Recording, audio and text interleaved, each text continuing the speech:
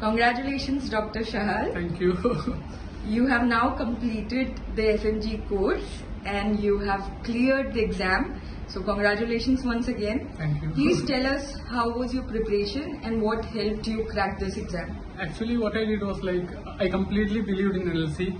Like after coming here, after seeing Ashish sir and like the things I all, after knowing his medicine and physiology and all, I understood that like we should know conceptually. So I started studying conceptually, and then like rather than going for other things like studying too much things, we should always like you know like be strong in whatever we studied.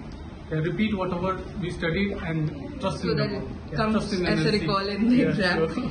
What else? Did the test series QBank help you in Yeah, any I, and one more thing is that I only did NLC Carter series. I never did anything from outside, only from the Telegram group and the question bank. And I almo- almost like tried to complete the question bank, but still I couldn't complete. But questions are really good. That's amazing, Doc. We are very proud of you. Any uh, thing else that you want to say or thank anybody?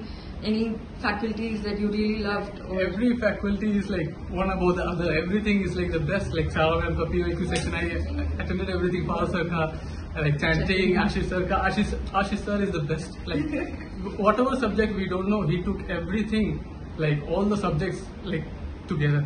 any other faculties that helped you? Each and every faculty is best. Like, but still Ashish sir, I'm a big fan. yeah, Okay, amazing. Congratulations Thank once you. again. Thank you so much.